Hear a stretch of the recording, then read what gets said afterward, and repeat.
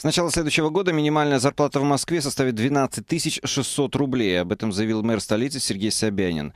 Недавно в столичной мэрии состоялась церемония подписания соглашения о минимальной зарплате в Москве на 2014 год. Документ подписали Собянин, председатель Московской Федерации профсоюзов Чернов, а также глава Московской конфедерации промышленников и предпринимателей, депутат Госдумы Панина.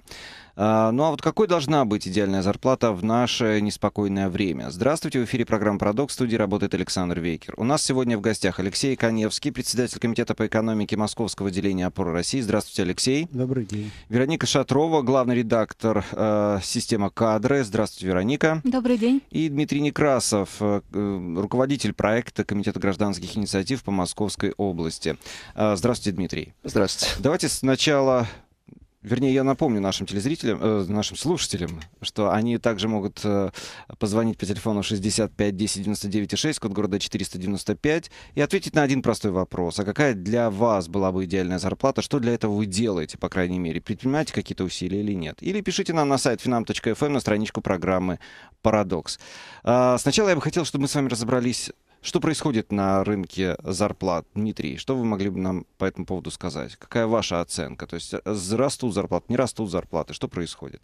Не, ну они в целом, конечно, растут, но от того роста, который мы наблюдали там в середине 2000-х или даже там сразу вот после, после кризисного восстановительного роста, ну, сейчас о, о таком росте говорить нельзя. То есть каких-то, то есть, условно говоря, есть сектора, где нехва- нехваток, рост. Э, да, нехваток кадров, а есть сектора, где mm. там ситуация несколько другая, поэтому и э, тенденции могут быть разнонаправлены. Вот парадокс заключается в том, что несмотря на всю нестабильность в экономике, мы наблюдаем этот рост зарплаты. По большому счету снижение, ну, нет ни в одном секторе. Я не знаю ни одного сектора, где бы мы увидели снижение. Правильно, Алексей? Не совсем так, по моему ощущению, потому что вот когда а, в частности, бизнес-сообщество боролось за, а, за снижение там, налогового бремени, да, угу. и проиграл пока эту схватку, да, многие предприниматели вынуждены были оптимизировать свои зарплаты, именно снижать их, и такое снижение... Ну, насколько сказать, снижение? Ну, это не, э, не, не катастрофическое. Не катастрофическое, но это, это снижение. Сказать, Я помню, в 2008 году очень многие предприниматели испугались кризиса и стали срезать именно фонд заработной платы или увольнять просто сотрудников. И э, это сокращение составляло около 20-30%. Сейчас же ситуация совсем другая и намного сложнее. А, ситуация похожая на самом деле. Даже похожая? Да, мне кажется, что похоже по моим сведениям. То есть многие предприниматели в этом смысле должны были найти серьезную очень оптимизацию. Произошло угу. масштабное сокращение в прошлом году, да, и если не сокращение, то зарплаты откатились некоторым образом. Конечно, специалистов, от которых нельзя избавиться, э, предприятие сохраняло, но тем не менее не, не то, что повышение, а произошло откат по зарплатам. Вероника, ваша оценка? А, ну, я считаю, что рост зарплат, он, естественно, наблюдается. Более того, работодатели, согласно нашему законодательству, да, должны ежегодно индексировать зарплату.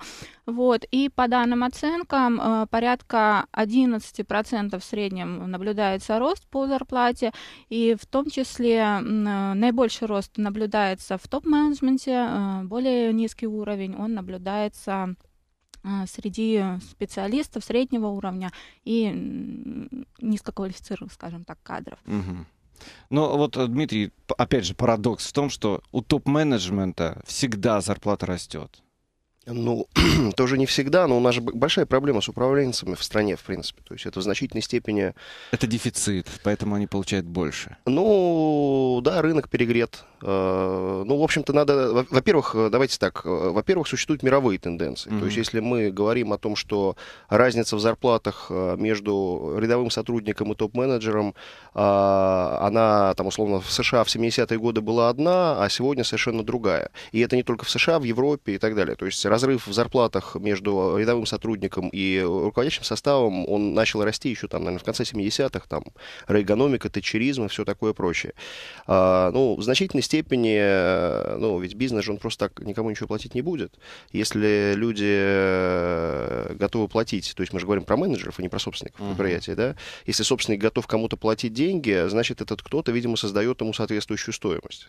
То есть, понятно, что есть отдельная история, это там госкорпорации, где безумные зарплаты, то, ну, то есть, э, это другая история, то есть, ну, государство, мы налогоплательщики, да, да, это все, это, э, это другая история. Но если мы говорим просто про нормальные компании, надо понимать, что, в общем-то, как правило, работодатель платит сотрудникам ну, приблизительно столько, сколько, по мнению работодателя, они как бы приносят ему стоимость.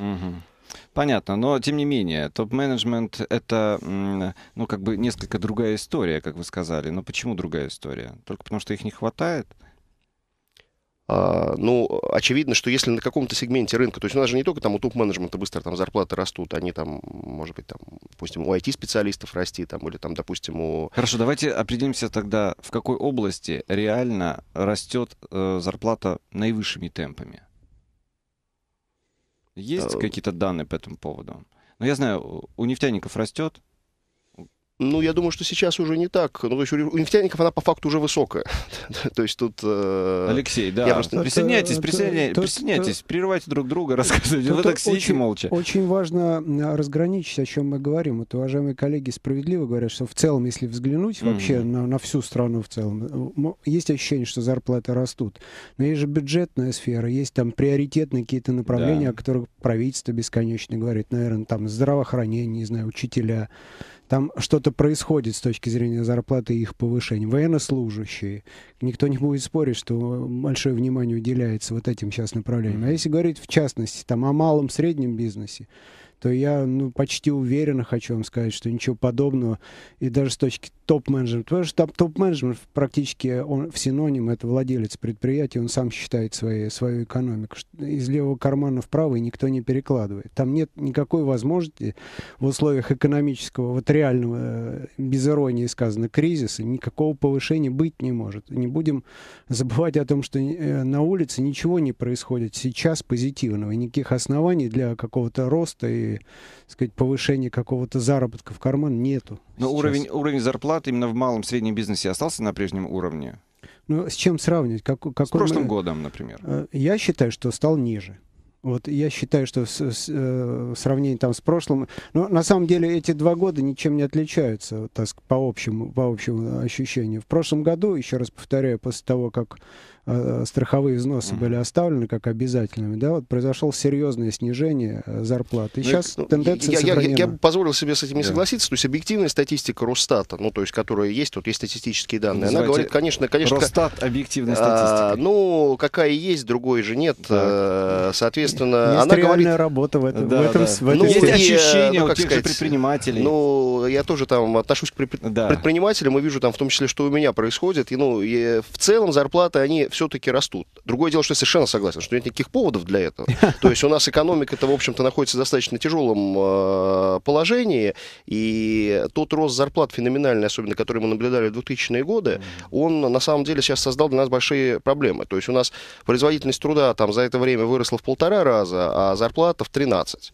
И, э, это, и это фактически убило там прибыль э, бизнеса, убивает стимул для инвестиций, убивает стимул да, для экономического нет, нет мотивации роста. повышать но, производительность но тут труда. еще, мне кажется, очень важно обсудить, коллеги, что вообще-то надо э, понять, о каком регионе мы говорим. Потому что вот мы часто, наверное, с, э, с уважаемыми коллегами принимаем на работу людей, как бы, и смотрим, конечно, ожидания у вновь прибывших сильно завышены, и рынок э, дает основание заявлять о своей зарплате, как о той, которую предприниматель сразу заплатить не может за неквалифицированный труд. Uh-huh. Такой, такая ситуация в Москве. Э, э, могу себе предположить, что в каких-то регионах, например, кавказских, там все иначе, там вообще мизер-мизер, то есть там люди, имея в виду э, не ограниченное количество этой олигархической вот этой прослойки, да, а в среднем зарплаты uh-huh. сильно ниже и резко отличаются от московских. 65 10 99 6, код города 495, звоните, задавайте свои вопросы или высказывайтесь, мы продолжим. Идеальная зарплата, мифы и реальность. Это тема нашей сегодняшней программы. У нас э, в студии Алексей Коневский, председатель комитета по экономике Московского отделения «Опора России», Вероника Шатрова, главный редактор э, системы кадры, и э, Дмитрий Некрасов, руководитель проекта Комитета гражданских инициатив. Мы э, также напомним вам, уважаемые слушатели, что вы можете позвонить по телефону 65 10 99 6, код города 495. У нас очень простой вопрос для вас. Какая для вас была бы идеальная зарплата, зарплата. Что для этого вы делаете? Предпринимаете ли какие-то шаги? А звоните, рассказывайте, задавайте вопросы. Или пишите нам на сайт finam.fm на страничку программы «Парадокс». Давайте определимся э, еще вот в чем. Какие у нас э, на самом деле сегодня существуют ну, недостатки в уровнях зарплат? По каким специальностям? Что вы можете сказать, Дмитрий? В смысле недостатки? То есть, э, То есть э, чего, каких чего... специальностей людей, каких специальностей да, не да, хватает? Да. И, Нет, ну у нас, и... очевидно, не хватает... Э, айтишников? Вот сейчас, да, ну, не, и в том числе и айтишников, но у нас не хватает, конечно, в первую очередь э, людей, там, условно, там, э, технологов, э, инженеров. Ну, то есть у нас все ушли в гуманитарные профессии. Да, у нас в течение длительного периода... Да, я, да. Юристов переизбыток колоссальный. У нас угу. по юристам, насколько я знаю, там соотношение среднее, там, на портале там, Жупру, они там проводили такую статистику, вакансий к резюме там 12, допустим, а у айтишников один к трем, да, то есть, соответственно, понятно, что у юристов перепроизводство, а там некоторых других специальностей недостаток. Но в первую очередь мы фактически потеряли а, то, что было таким а, средним специальным образованием, ну, то есть то, что у нас техникумы были mm-hmm. там и так далее, у нас а, вот этих людей не хватает. Сейчас сложно найти, допустим, проектировщика там для строительства, да, сложно найти грамотного инженера. Вот если бы старые а, кадры, которые уже были, э, ну, советской системой подготовленные, которые набрали какой-то опыт, и, понятно, с ними можно работать, либо вот совсем со скамьи, которые, в общем-то, ну, на самом деле не отвечают каким-то... Но старые кадры э, зачастую жалуются, что их не берут на работу работу, потому что они именно старые. Такая проблема тоже есть. Но, мне кажется, это отчасти еще из-за того, что вот, уважаемый коллега говорит о специальности, которая в основном востребована в а, а, сфере производства, да, а у нас эта сфера абсолютно сейчас э, в стагнационном состоянии. То есть, ну, бизнес-проекты существуют, но очень мало новых рождается, э, включая вся сегмент производства. Угу. Поэтому и технологи, и инженеры, которые главные в этом процессе, особенно... Алексей, каких специалистов не хватает вам? Ну, вы знаете, э, э, сейчас, слава богу, всяких хватает, да. Но, но тем, текучка большая. Текучка небольшая за счет того, что, так сказать, э, владельцы внимательно очень подходят к кадровому вопросу, так сказать, mm-hmm. достаточно изучают, есть определенные испытательные сроки и так далее. Стараются брать уже, так сказать, человека на долгое время, исходя из того, что какие-то вещи, какие-то проекты нельзя закончить за год, то есть берут mm-hmm. на долгосрочную перспективу. Mm-hmm. Но коллега прав, то есть э, в основном э, э, от руководителей отбоя это нет, там, сказать, э, поуправлять есть предложение, да, вот, так сказать, э, каких-то... А вот ручками делать нет? А, ручками, да, которые... И голову сказать, включать тоже нет? Ну да, финансовые специалисты, то есть серьезные, mm-hmm. то есть проблемы. Проблемы, так сказать, людей, которые работают во, вне, во внешней экономике, mm-hmm. тоже это все всегда актуально. Давайте послушаем Илью, который к нам дозвонился. Илья, здравствуйте добрый. Да. Э, я согласен полностью, что действительно у нас возникает дефицит отдельных профессий. Но в частности, вот вы упомянули проектировщики, работающие в сфере строительства, могу сказать, что действительно огромная проблема, когда люди еще старой советской закладки уходят э, в силу возраста, а новых проектировщиков не появляется. Это огромный дефицит. Понятно, и понятно. Хотел, да, и хотел бы сказать по поводу зарплаты, что, вы знаете, вот есть такая поговорка, я с ней согласен, что если работник удовлетворен своей зарплатой, это плохо То есть всегда нужно быть немножко голодным. Как художник, работник должен быть, особенно наемный, немножко голодным, чтобы было к чему стремиться. Если его все устраивает, то я думаю, что, наверное, имеет смысл что-то поменять. Спасибо, Илья, за звонок. Спасибо. 65 10 99 6, код города 495. Звоните, задавайте свои вопросы, высказывайтесь на тему, что такое идеальная зарплата, какая зарплата удовлетворила бы вас, и что вы делаете для того, чтобы получать достойные деньги, по крайней мере, за свою работу. А, но я бы хотел понять, вот, Вероника, вы подтверждаете, что на самом деле сегодня а, кадровый голод именно существует для предпринимателей, для производства, которое в стагнации, тем не менее. А, существует действительно голод э, в тех, э, скажем так, непопулярных для москвичей особенно, да, для московского региона э, сферах и должностях, да, куда сейчас не идут работники, это средний и низкооплачиваемый уровень. Вот. Плюс есть проблема высококвалифицированных квалифицированных в принципе специалистов, потому что у нас несколько уровень образования, и те специалисты, которые выходят из институтов, из э, училищ, там, вузов и прочее, да, они чуть-чуть не соответствуют тем реалиям и тем требованиям бизнеса, которые сейчас предъявляют. Uh-huh. Вот. При этом, э, да, все, все можно отметить, что выпускники, они достаточно выходит, приходит на рынок с достаточно высокими требованиями, вот, и отсюда как раз вот возникает такой диссонанс, что работодатель то, что хочет выпускник, не готов предложить работодатель. Мгм. Вот, и чтобы найти того человека, который соответствовал всем пунктам и по опыту, и по требованиям, да, действительно приходится очень-очень много времени потратить кадровым службам в первую очередь. Дмитрий, а какие требования вы предъявляете к новичкам? Вот он приходит к вам, что, что вы от него требуете? Ну, всегда разные, все же зависит от ситуации. Есть э, работы там, где нужна инициатива, там, условно говоря, а есть э, участки, где, наоборот, нужна, там, допустим, упорядоченность, Ну, человек исполнительность. там, всегда говорит, Это- сколько он стоит вам напрямую. Ну, люди разные, все по-разному говорят. Ну, то есть... э, Ну, человек приходит и говорит, я стою столько-то. ну, что значит стою? Я Ну, рассчитывал это- бы на такую-то зарплату, Да. а некоторые, как бы, а Вы ему всегда говорите предложите? нет. Да нет, не всегда, но это же Но, такой гибкий по большому счету, мы пришли, мы пришли к выводу, э, что люди приходят э, к работодателю с завышенными требованиями. А, смотрите, вот э, у нас, э, ну, еще раз по- повторюсь, да, за- у нас было там 10 с лишним лет, э, вот золотой дождь нефтедолларов на нас проливался. А, это привело к тому, что бюджетный сектор начал наращивать зарплаты. А, соответственно, бизнес вынужден конкурировать с бюджетным сектором за сотрудников. Зарплаты стали повышаться в бизнесе. Зарплаты резко оторвались от производительности труда. Мгм. То есть, вот смотрите, ну, еще раз, выросла производительность в полтора раза, ну, чуть больше, а, а, зарплаты в 13 с 99 года. В 13. А, теперь второй такой показатель. То есть, грубо говоря, обычно, вот если посмотреть там на ВВП, на душу населения и производительность труда, а, они в развитых странах очень хорошо коррелируют. То есть, если взять, там, построить ряд э, там, за 10 лет, то окажется, что ВВП рос следом за производительностью труда.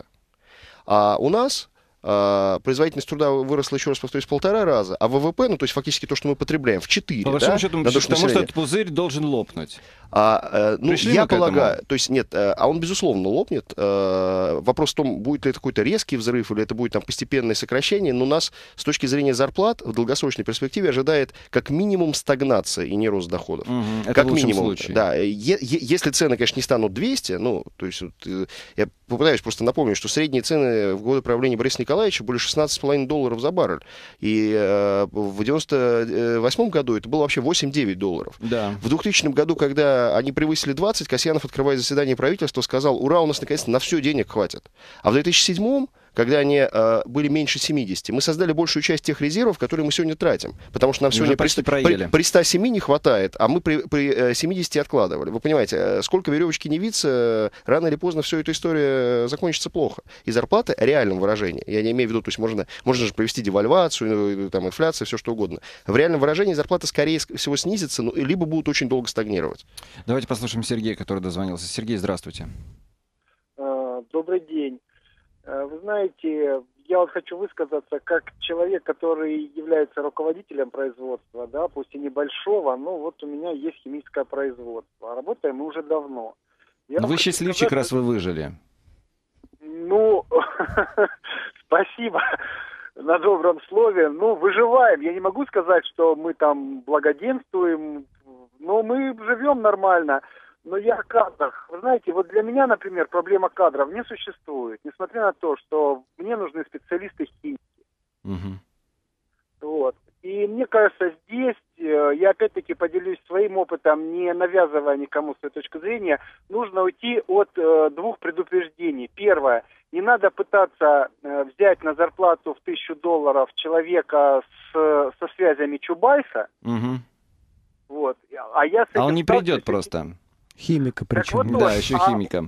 Так, Да, а и- у нас почему-то вот такие требования. Очень многие, очень часто я вижу, и я даже точно так же поначалу выставлял э, нечто подобное. То есть я хочу всего-всего-всего, ну и за минимальную зарплату. И второй, говорите, у нас 15 секунд до новостей. И вопрос э, второй, это не нужно бояться брать молодых и пенсионеров. Понятно.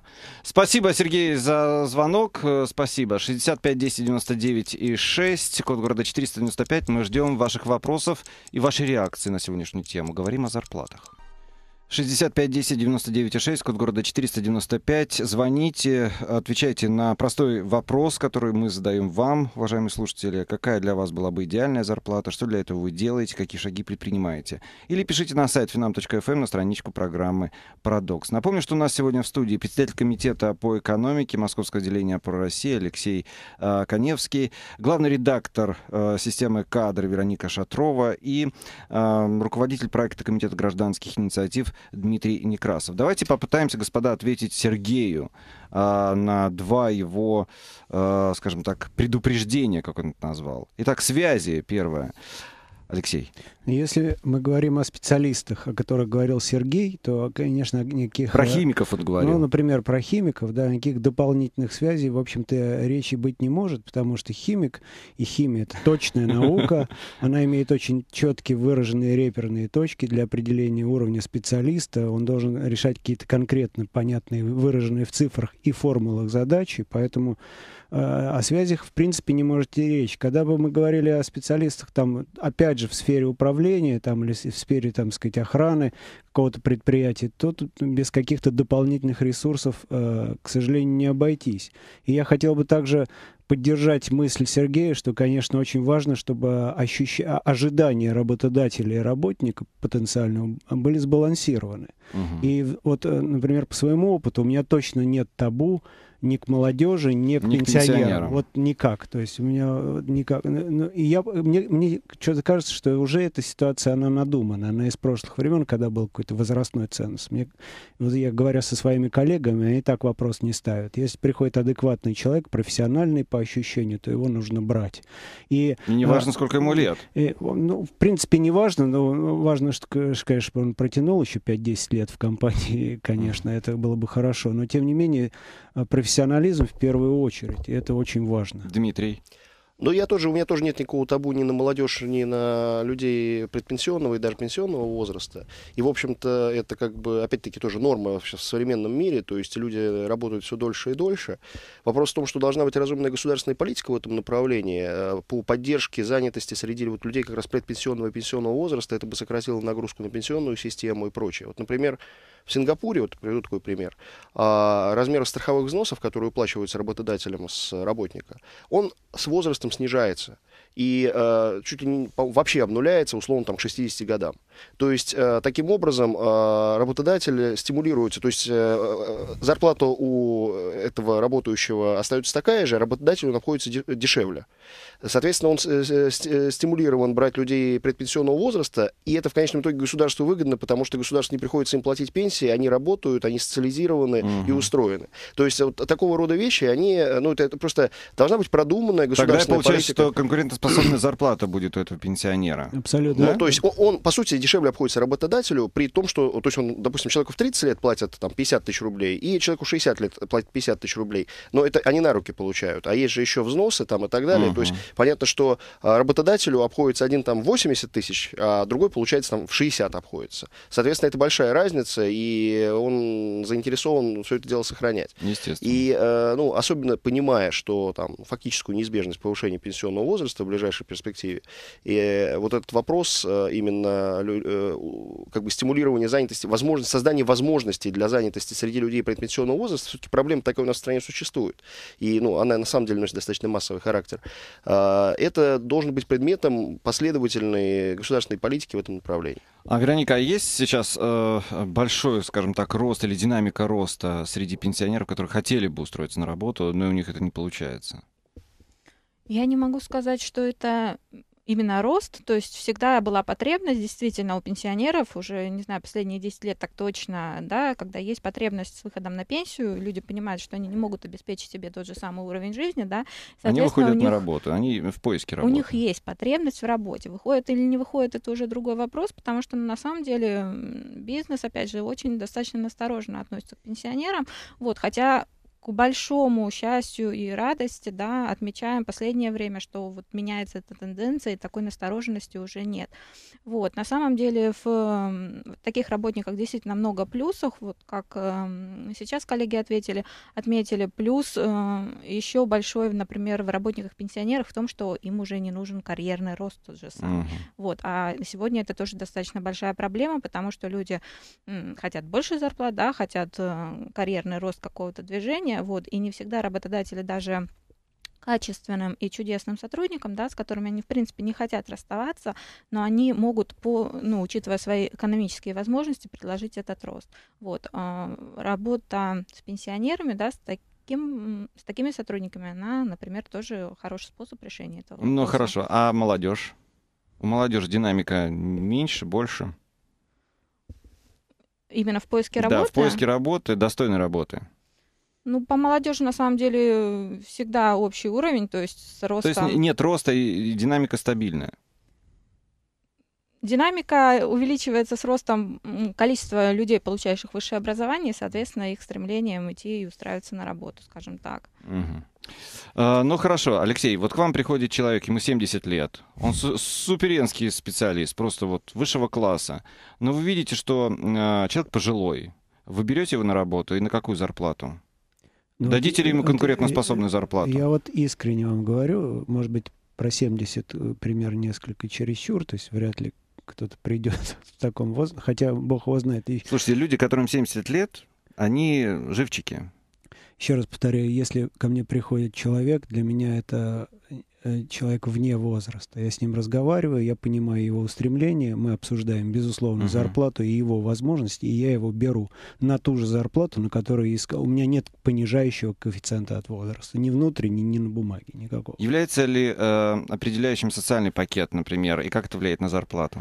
Э, Тут очень тоже по-разному весьма. То есть люди задают частенько вопрос, что там есть еще плюс к зарплате. Это немаловажный фактор для решения какого-то, особенно человека, у которого много предложений так сказать, на рынке. Но он не определяющий. Все-таки определяющая гарантированная э, зарплата, которую он будет получать, неважно, состоит ли она из фиксированной части и неких там бонусов mm-hmm. от результатов, он может себе внутри представить, что он может получать по результатам там, скажем, месяца. Социальный пакет это как естественно плюс, но он не определяющий, на мой взгляд. Угу.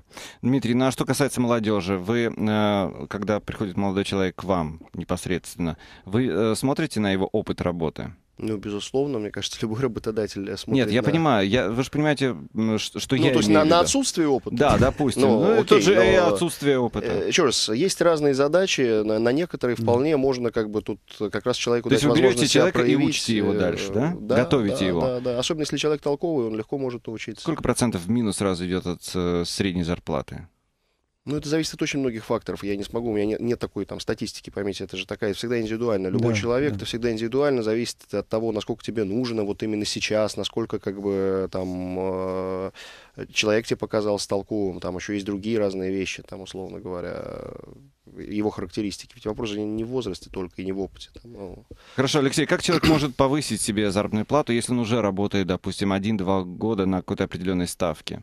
Поощряете ли вы подработки?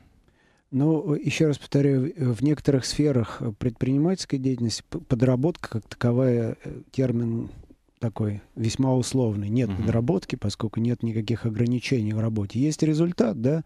Часто э, он может больше заработать, потому что да, даст тот или иной средний или более высокий результат за счет дополнительных бонусов, премирований и так далее. Это все понятно, да. С другой стороны, вот э, касаясь тоже как раз вопроса, который вы моему коллеге задавали, как раз с молодежи мне хотелось принимать амбициозных людей на работу, mm-hmm. которые я видел, что они будут, в общем-то, не просто, сказать, в срезе добиваться какой-то зарплаты, а там впереди тишина, да. Я хотел бы, чтобы они, так сказать, росли, и я как раз, мне нравится эта ситуация, и в этом смысле я должен буду всегда продумывать, а на какую ступень я могу его потом двинуть, если все будет хорошо, да. Не всегда так получается, но если он обеспечивает рост компании вместе со мной, то компания растет, увеличиваются возможности компании по предоставлению новой ступеньки для этого молодого сотрудника. Исходить из этого тоже, наверное, не не вредно. И я бы еще ну, вот много раз обсуждалось на разных, так сказать, э, круглых столах в том числе, чтобы человек, который заканчивает вуз, да, уже там загодя, э, в буквальном смысле, за, за год или за два, мог иметь возможность практической работы в какой-то компании. А лучше еще с первого курса. А лучше еще и в первый курс. И это да. было бы записано, например, как ну, не свободный час, как обязательно э, часы программы его студенческой, что вот он, скажем, в четверг он работает в компании. Тогда бы он выходил абсолютным практиком, внутри вообще чего бы то ни было. Не обязательно, что он пойдет именно в эту компанию, но сферу он может выбрать. И если государство э, будет это поддерживать, да, то... А почему бизнес не может это поддержать? За это надо платить, за неквалифицированных. А почему бизнес не может платить и, а я, я за скажу... тех специали... и готовить тех специалистов, которые нужны? Если ну, для себя, то может. Ну, так вот я для ну, себя но это и говорю. очень крупный бизнес, как да. правило. То есть э, мелкому бизнесу это делать сложно. А, у нас, конечно, очень неадекватная система высшего образования с точки зрения потребностей вот, структуры экономики. Вот начну с того, с тех же самых, вот пример, да, есть юристы, которых там 12 к 1, очень многие, ну, то есть на одну вакансию претендуют 12 человек, условно, очень многие а, не находят себя по специальности, у нас почти 800 тысяч студентов учатся сейчас на юристов. В то время как, допустим, есть айтишники, где совершенно другой баланс спроса и предложения, а их там учатся там, 100 тысяч или даже меньше. А зарплата есть, бывает у айтишника а, гораздо выше. И, да, зарплата при этом у айтишника средняя, по, по данным того же самого Job.ru, да. она средняя выше, чем у юриста. То есть а, где рациональность? То есть я не понимаю, а, ну, люди, вот у нас просто нет социальных навыков у людей. В Штатах-то все смотрят на средние зарплаты э, выпускников тех или иных колледжей, выбирая, как бы, куда пойти. У нас просто это, люди на это не смотрят, почему-то как бы да, статистика, совет, советских времен вбилось, что типа юристы это круто, и вот все идут да, в юристы, да? да? Это Хотя это уже заблуждение, это давно не так. Во-вторых, государство. Я вообще не понимаю, почему государство должно оплачивать а, обучение людей, которые, которые совершенно не, не будут... нужны с точки зрения структуры экономики. И потом не будут работать по специальности. И они не будут работать да. по специальности, и да. они вообще не нужны с точки зрения структуры экономики, такие люди. У нас, во-первых, избыточное вообще высшее образование, у нас слишком много людей получает высшее образование, при том, что качество его минимально. Но я понимаю, когда мы обучаем тех, кого вот не пара- хватает... Парадокс. Вам не хватает специалистов, особенно высококвалифицированных, но говорите о том, что мы готовим лишние кадры. Ну, знаете, далеко не все могут стать высококвалифицированными специалистами. Да. Нормальное Значит, количество... сама система, сбой в системе. Тут еще имиджевая составляющая. Почему-то считается, что быть юристом, вот это круто. Все мнят себя такими звездами, которых главных юристов А это те амбиции, видим, о которых вы говорили. В бабочках. А это, это все... те амбиции. Человек считает, что он готов это не быть амбиции. Это все равно, что юристом. Считается, что, наверное, хорошо и очень легко быть моделью. Но не каждый же может быть моделью по, по сути, по объему тому, что его дала природа. И юрист тоже. Это должен быть талантливый юрист, чтобы быть богатым юристом. А айтишник — это дикий труд головы, не каждому дано, это всегда надо пахать, э, и государство поддерживает, к сожалению, вот такое вот отношение к такого рода профессиям. Нужно все это перевернуть. Люди должны видеть смысл в разных направлениях своей деятельности. То есть э, я, я просто продолжу то, что да. говорил. То есть э, бесплатное высшее образование, это все хорошо, замечательно, но оно должно быть бесплатным именно там, где есть нехватка специалистов. А там, где есть их перепроизводство, но если люди сами хотят принять для себя нерациональное решение, пусть они сами за это платят. Государство не должно предоставлять этих возможностей, вы понимаете? И а, а, у нас, а, ну, я уже не говорю про то, что программа вообще неадекватна ничему, да, то есть значительная часть людей, которые выходят, они вообще, ну, то есть вообще ничего не понимают про свою отрасль, тем более сейчас период полураспада знаний, там, 2-3 года, и то, чему их начинали учить, это уже дав давно вообще не имеет никакого отношения. Ну, и просто структура, ведь можно же посмотреть, сколько у нас, где, в каких отраслях какая потребность, потребность угу. и э, соответствующим образом менять вузы. Это не делается. Нет осмысленной политики. 65 10 99 6, код города 495, звоните. 65 10 99 6, код города 495. Э, мы сегодня говорим о идеальных зарплатах или просто о зарплатах. Мифы и реальность. Что происходит в этой сфере? Какая для вас была бы идеальная зарплата? Что для этого вы делаете? Или пишите нам на сайт finam.fm на страничку программы «Парадокс». Я напомню, что у нас сегодня в студии Алексей Коневский, председатель комитета по экономике Московского отделения по России, Вероника Шатрова, главный редактор системы кадры, и Дмитрий Некрасов, руководитель проекта Комитета гражданских инициатив. А, что нужно сделать сегодня для того, чтобы свою зарплату, которая тебя не удовлетворяет, а мы говорим о том, что по большому счету а, за последние годы, годы кризиса, а, в зарплатах, если и наблюдался рост, то незначительно, он в основном не перекрывает эту инфляцию, которая существует. Ну, а если перекрывает, то незначительно. Что может сделать работник для того, чтобы повысить свои доходы? И поощряет ли сегодня руководитель э, да, такого рода инициативу работника. Что вы можете по этому сказать, Дмитрий? Не, ну работник может сделать в первую очередь, ну то есть есть один главный магистральный путь, повысить свою квалификацию, стать более ценным, приносить большую ценность компании, и тогда он будет ну, да, дороже, это универсальный дороже ответ. стоить. Я да. знаю, этот ответ я знаю. Но, допустим, у работодателя нет, да, он не может э, увеличить фонд заработной платы. Ну, нет такой возможности в силу тех причин, о которых вы говорили, объективных причин на сегодняшний день. Но работник хотел бы повысить свой доход. Если он устраивается на дополнительную работу, даете ли вы ему такой шанс? Либо ставите ему вот условия, никаких подработок, только у меня. Но это сильно зависит, это тоже гибко. В определенных ситуациях можно дать подработку, на самом деле. Ну, то есть, когда люди сами там генерят условно бизнес и... Ну, то есть, грубо говоря, там, где э, подработка не э, наносит ущерба Основному нормаль, нормальной работе компании и не искажает стимулы для работника, ну, чтобы он там, Мгм. понятно, в рабочее время уходил в одну подработку, где она просто не мешает. Там ее можно как бы с ней прибериться. В принципе, это такая форма, э, как сказать, э, дополнительного ну, удержания работника там. То есть вас не смущает, ничего. значит, у вашего работника есть свободное Ну, вот, время, допустим, он может вот- еще больше работать, да, еще больше приносить э, пользу компании, но вы не можете ему платить больше. Вы его отпускаете. Ну, допустим, возьмем пример. Есть, допустим, тот же самый проектировщик, про которого говорили. Да. Ну, допустим, есть какой-то объем работы, который требуется выполнять с точки зрения проектирования или там проверки проектов, там, в логике, там, допустим, в моей какой-то компании, да. Но проектировщик, в принципе, может где-то еще налево подработать, там, найти и сделать пару проектов. Мне это не мешает, да. Ну, вот просто, то есть, если, грубо говоря, он выполняет ту- те функции, которые я на него возложил, то мне это не мешает. А это одна ситуация. Совершенно другая ситуация, э, там, не знаю, когда, допустим, есть э, там риэлтор, а, который там работает э, В компании, но а, потом- в, в компании, да, но при этом начинает какие-то там, допустим, на вторичке делать там сделки сам, да, но он просто свое время и внимание и цели переключает с одного на другое, и, соответственно, здесь уже возникает некоторое искажение, да, ну, вот, ну, Понятно. Алексей, ну хорошо, есть ли какие-то стимулы, которые вы предлагаете своим работникам для того, Ну, чтобы они повышали свой доход? Я согласен с коллегой, конечно, во всем. В этом смысле нужно сильно разграничивать, о каких э, направлениях деятельности мы говорим. Некоторые э, вещи, в моем понимании, не подразумевают совместительство. Объясню, что я имею в виду. Вот э, пришел, ну, скажем, молодой человек, он обрастает профессиональным опытом внутри компании, получает массу полезной, в том числе сильной инсайдеровской информации. Потом он почему-то решает, да, что он, сказать, уже сам с усам и начинает, используя этот опыт, да, делать что-то, сказать, параллельное, чуть ли не на том же самом, самом рынке, да, в так называемое свободное время. У меня предложение к нему другое.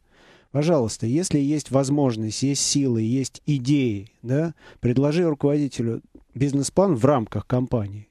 Я готов с ним обсудить специальные условия по вновь предложенному дополнительному проекту, и он его будет делать в рамках компании, да, увеличивая капитализацию компании тем самым и получает дополнительно. Защити свой новый проект внутри компании, если ты видишь силы. Зачем идти на улицу? Компания предоставит тебе также ресурс на все это дело. Это дополнительный заработок, отдельная вещь, помимо той, которую он делает согласно договоренностям и должностным э, условно обязанностям и инструкциям.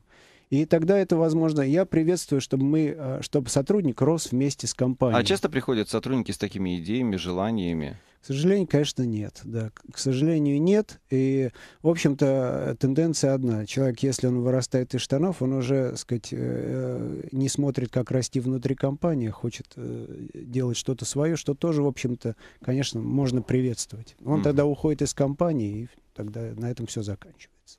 А, Вероника, э, сегодня огромное количество наверняка людей, которые хотели бы подрабатывать, увеличить свой доход. Таки- с такими встречаетесь? Да, естественно, и если даже оценивать рынок труда, да, и те пре- предложения и спрос, например, ко- который предъявляется, да, много можно увидеть ам, именно запросов на подработку, в частности, это не обязательно должно быть совместительство, да, но и какие-то различные проекты. Мгм. Вот сайты типа фриланс.ру и прочее, да, они у нас процветают, и всегда есть желающие, которые, предлагающие вот свои усилия, свои силы, да, чтобы выполнить какие-то работы и, собственно, ради этого подработать. А вариант, вот предложенный Алексеем, да, он является на самом деле идеальным, когда работник идет со своими предложениями к непосредственно к работодателю, да, и они м, слышат друг друга и предпринимают какие-то шаги и решения, вот, но, к сожалению, далеко не всегда, то есть это достаточно идеальная картинка, потому что иногда сами работники, да, как бы не считают нужным или боятся сообщить Потому о что том, они боятся потерять работу, по Да, да, большому да, да, счету. да. У вас есть лишнее время, а вы, значит, Надо неэффективно работаете. декларировать это каждый день с работником. Я открыт, давайте пообщаемся. Но есть еще одна а, вещь. А, а, когда людям не хватает денег или их не устраивает уровень зарплаты, они задумываются о своем собственном деле. Да, зачастую. Если а, высококвалифицированный специалист э, вот, в компании, а он не удовлетворен заработной платой, но у него есть идеи, почему он должен идти к своему руководителю? Не должен. Не должен. Совершенно же не а, должен. Совершенно слово нормально его должен, создать. должен не звучало. Конечно, хотелось бы, да, когда ценный почти руководитель уже готовый работает вместе в компании, да, но это неизбежная вещь. Человек, который вырос из штанов наемного сотрудника, он уходит в свое дело. Ничего с этим не сделаешь. А вы, а вы приветствуете, помогаете? Вообще у вас был такой опыт когда-нибудь, что человек э, вот вырос из штанов, как вы говорите, да, и потом он вдруг открывает А, какую-то а, конкурирующую... Понимаете, в чем дело? А, Ощущение, э, кто откуда вырос, это такое личное. Э, Сотрудник может считать, что он дорос до своего дела. Мгм. Работник считает, что он там сыроват. Но отп- удержать он его не может. Да, сказать. Э, Жалко, когда уходят квалифицированные сотрудники. Это очень Мгм. жалко.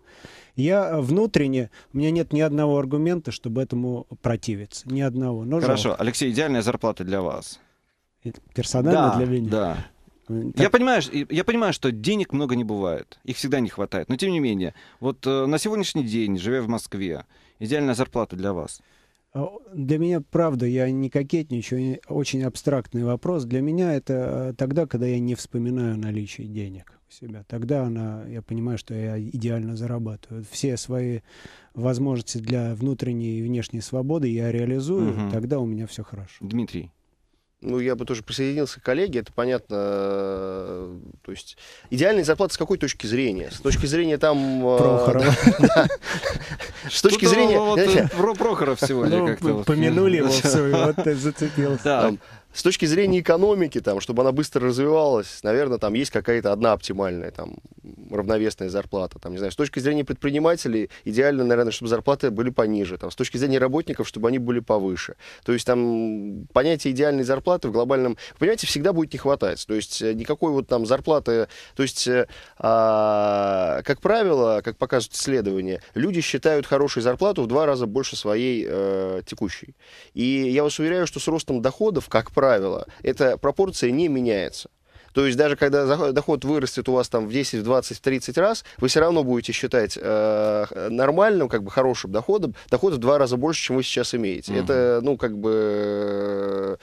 ну, может быть, имеет какие-то пределы, но э, очень высокие. То есть, э, поэтому я не думаю, что идеальная зарплата Да. существует. Вероника.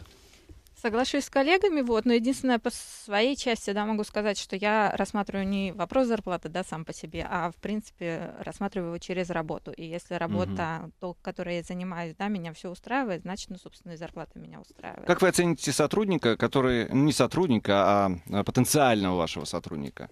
А, Если он пришел к вам, и вы видите, что начиная там с 2008-2009 года, он свои доходы во время кризиса увеличил не в два, не в три, а в четыре, даже в пять раз. Э, Это э, будет для вас ну, показателем того, что это ценный сотрудник, Алексей?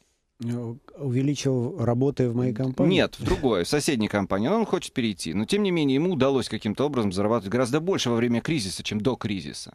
Я не буду смотреть в этой плоскости. Совсем. Ну, как-то для меня такой это какой-то косвенный э, такой. То есть это, вы не считаете, что человек, способный во время кризиса зарабатывать гораздо больше, это, это более чем это высоко- в, в нашей стране специалист? зачастую везение, к сожалению. Да. Вот это никак не связано. Вот, ну, оказался человек в нужном месте в нужное время и повезло.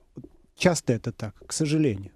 Очень много случайных факторов. Да, поэтому, да. да. Поэтому то, то, сколько он получал где-то, ничего не значит Да. на самом деле. А вы как считаете, Вероника? Ну, Абсолютно согласна с коллегами, очень индивидуально все это. То есть нужно рассматривать это именно в плоскости случайности. Ну, это не надо ни в какой плоскости раз. Тогда просто пожелание. Что нужно сделать для того, чтобы быстро зарабатывать? И больше зарабатывать? Алексей, два Я- слова. Я считаю, что нужно про- э, свой профессиональный уровень повышать и идти вот по этому пути вот прям как поршень. Дмитрий. Учиться, учиться, еще раз учиться, как завещал великий Вероника, Не остается ничего другого, как присоединиться к коллегам, учиться повышать квалификацию. Спасибо, это была программа «Продукт». До встречи.